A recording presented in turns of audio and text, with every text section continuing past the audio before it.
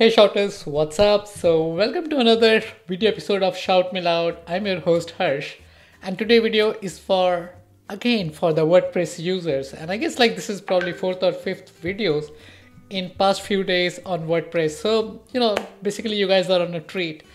Now today video is for for people who want to optimize their website for good user experience and also for the search engine optimization and I actually told mentioned about this plugin in my last video. Uh, in my last video about how you know the Google SERP SEO hack, I did mention about this plugin where it shows the page content, and I'm actually going to show you how this plugin works, what are the benefits, and some you know hidden tricks, tips and tricks that you can use to optimize the usage of this plugin. All right, so the plugin which I'm talking about is called Table of Content plugin, and what it does is it add a page table of content on your article automatically. Now it it has a lot of benefits and some of the benefits are especially you know when we are creating long form content it helps user to quickly navigate from you know one topic to another topic and that's what this table of content does. Now another benefit which is from the seo perspective is it actually helps to add this kind of jump links in the google search. So you can see that like this is the jump link which is within the article itself and just by using this plugin you'll be able to do this.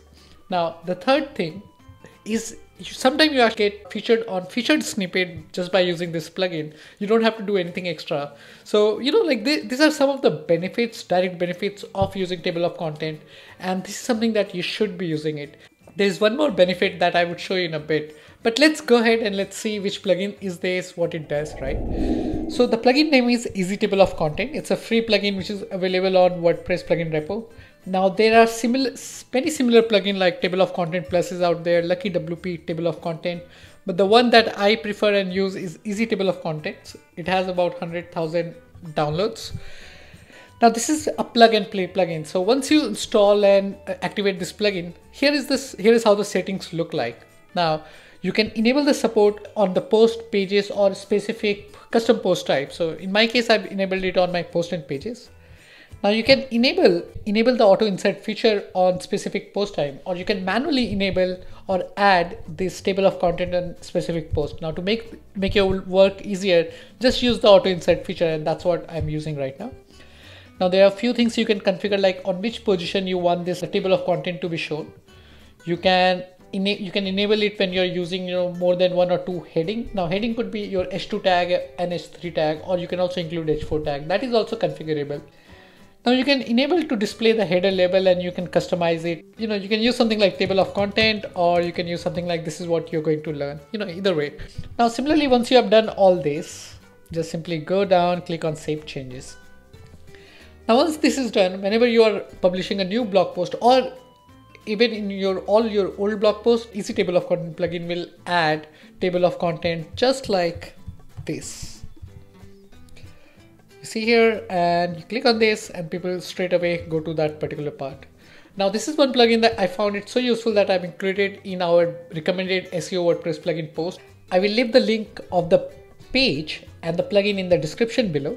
Anyways, so here is here are a few interesting things right? So when you're writing when you're editing an old post you also get the option to customize this plugin for specific pages. Like for example you want to disable the table of content on specific blog post or pages you can do that from the settings on the post edit section. Similarly you can enable or disable exclude certain headings if you like. You can also exclude headings by the heading name. Like you can simply copy the heading title. For example you know you can just copy this and it will exclude it from including include to include in the table of content side. Now most of the time you may not be using it but you know it's good to know that what are the possibilities with this plugin.